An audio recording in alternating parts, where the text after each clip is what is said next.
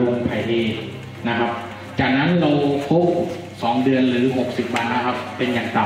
ำเจ็ดสิบวันก็ได้ครับผมจากนั้นพอครบหกสิบวันแล้ว เรากระตุ้น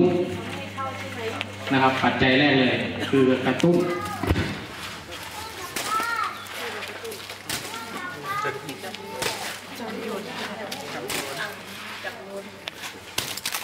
จากนั้นนะครับเราก็ ให้กลุ่มมันรวม คือให้เชื้อมันเดินคือพร้อมเต็มที่ที่จะดอกจะออกมา จากนั้นดอกก็จะออกเยอะนานแรงเข้ามาใกล้ไหมพอดีจะได้ใช้ไม้ไม้ไม่หนักเท่าไหร่พอครบวันที่สี่นะครับ ก็คือสามวันไล่อากาศขึ้นให้หมดเลย ให้ให้อากาศถ่ายเทตอนที่พร้อมปุ๊บพอเราอ้าแบบนี้มันจะกินขี้เลื่อยมาด้วย แต่ถ้าเรากระตุ้นแล้วมันจะอ่าไม่ไม่มีมันจะแข็ง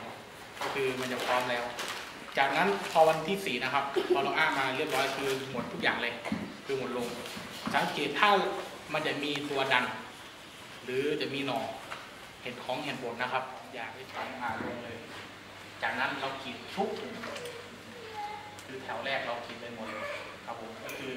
อ่าข้างหน้าเนี่ยเราขีดบานจนหยิบเข้าหรือแก่เริ่มแก่นะครับเลยเข้าของฝังเอ่อ ตอนนี้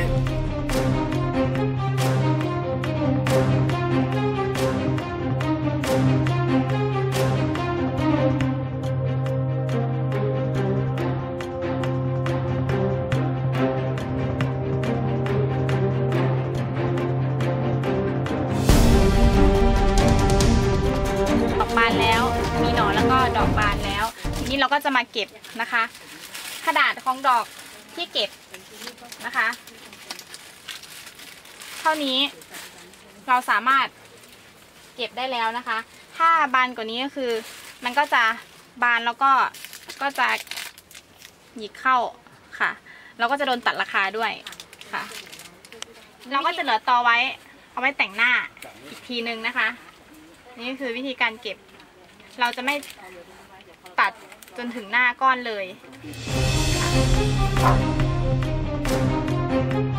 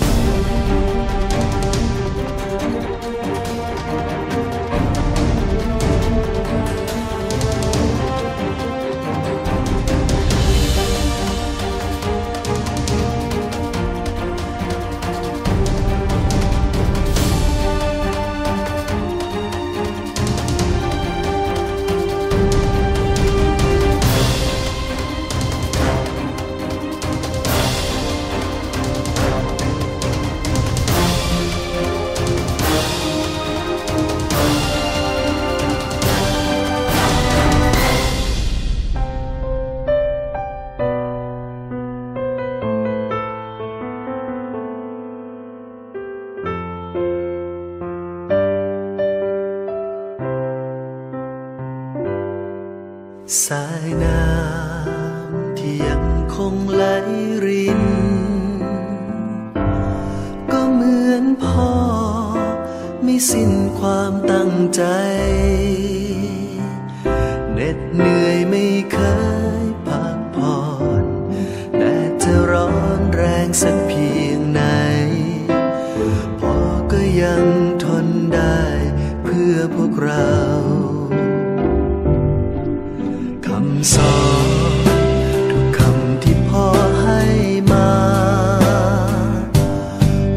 ศึกษา